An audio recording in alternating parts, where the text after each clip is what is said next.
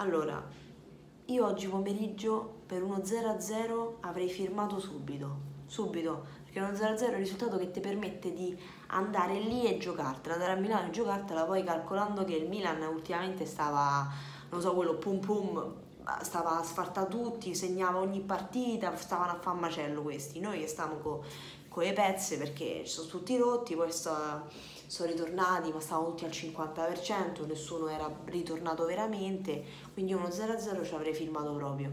Adesso dopo la partita diciamo un po' mi rode perché comunque sì lo 0-0 rimane un buon risultato perché te la vai a giocare, però ecco vincere la 1-0 era un po' diciamo era decisamente meglio. Poi ragazzi dicevamo, ma che allora partiamo dal presupposto che il Milan non ha giocato, cioè non è proprio sceso in campo il Milan, proprio non, non si è manco visto, cioè hanno regalato talmente, quanti dei quei, talmente tanti quei palloni che io non lo so.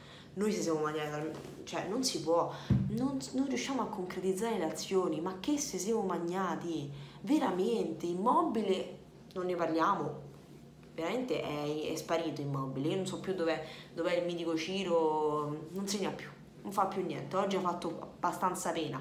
Corea giochicchiato, però Corea oh, sta sempre a cascare, ma che è? Lo tocchi, boom, si butta, non te butta, mi ha dato un fastidio che a un certo punto si è proprio tuffato, una cosa che non serviva a niente se avesse passato la palla un attimo prima, invece no, si è voluto buttare, vabbè, veramente un microbo, appena lo tocchi casca subito.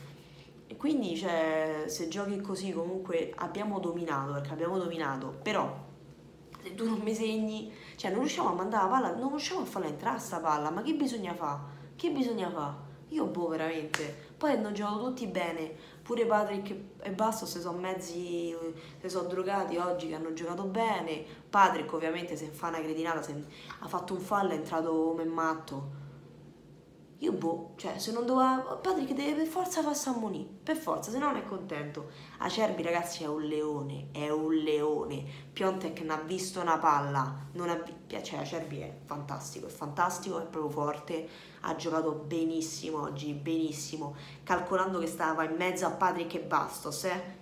Cioè, ricordiamolo perché ne, ne ha fare da poco.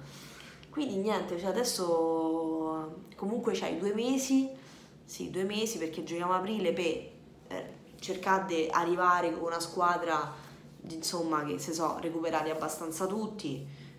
Cioè, se riarriviamo con tutti i rotti è proprio sfiga però comunque ecco niente un po' merode perché dovevamo dobbiamo cioè siamo una squadra di imbecilli cioè dovevamo, dobbiamo concretizzare le stazioni. Noi giochiamo bene il serve a niente gioca bene che poi quelli che passano la palla e Calla io ero sicura che ero sicura che detto guarda mo questi a, Pionte che gli arriva una palla e Calla.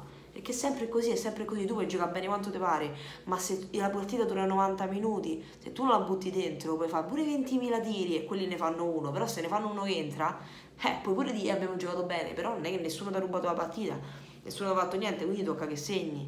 Mo devi andare a Milano e non devi perdere eh, pare facile, pare, pare facile andare a Milano e non perde. Comunque, eh, alla fine è un risultato che è buono perché non aver preso gol in casa è buono. Quindi niente ragazzi, alla fine si può fare, si può fare come risultato, la partita è assolutamente aperta e speriamo bene. Spero bene, incrociamo le dita e ci vediamo tra due mesi praticamente. Quindi niente ragazzi, iscrivetevi al canale se non l'avete ancora fatto, lasciate un bel mi piace, lasciate qui un commento, ditemi cosa ne pensate voi di questa partita e noi ci vediamo domani con la live reaction. Bella!